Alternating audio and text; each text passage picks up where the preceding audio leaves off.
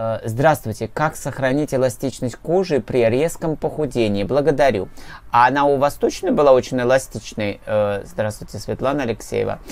А, потому что Вообще, когда сразу мне вот что-то спрашивают, как сохранить здоровье, спрашивают люди, ну не вы, а вот совсем, уже, совсем с отсутствием этого здоровья, что вы собираетесь сохранять? Вот, надо просто разбираться, как вы вообще родились нездоровыми и как вы дальше падали, из, уходили от этого здоровья подальше. Да? Вот, ну хорошо.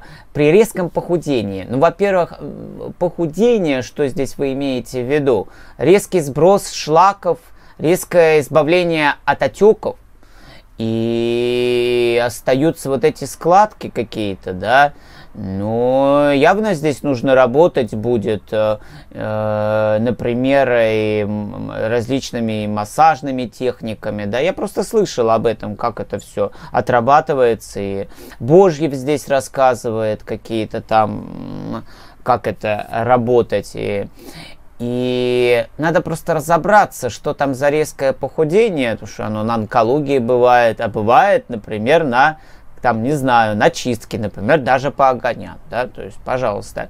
И, э, и я вообще стараюсь, конечно, чтобы очень резко все не было, потому что человеку может поплохеть, да.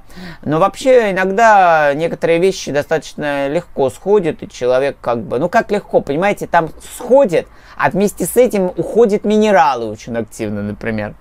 И поднакапливаются какие-то, скажем, выбросы. И потом человек э, резко это все останавливает вовремя, либо не успевает остановить и оказывается в больничке. Поэтому там как бы надо смотреть вообще, что происходит у этого человека.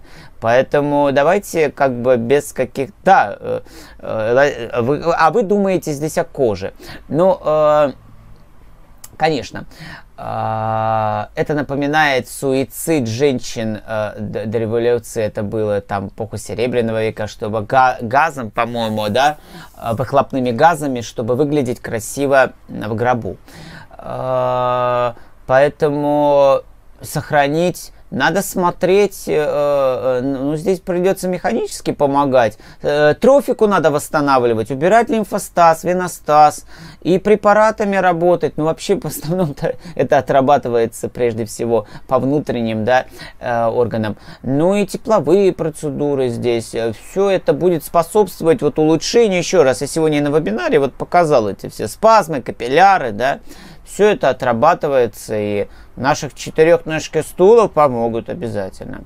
Говорят, что ничего страшного, э, э, э, все оно потом раз, разгладится все-таки организм работает себя. Но тут сразу скажут, ну, клетки все обновляются. Да, да, только опять, в какой среде это все происходит, с каким управлением. Управление нарушено информационное, и все идем там отеки, спазмы, вены, капилляры, санация, все нарушено, среда мерзкая, закисленная. И в этой среде вы собираетесь обновиться. Ну, давайте.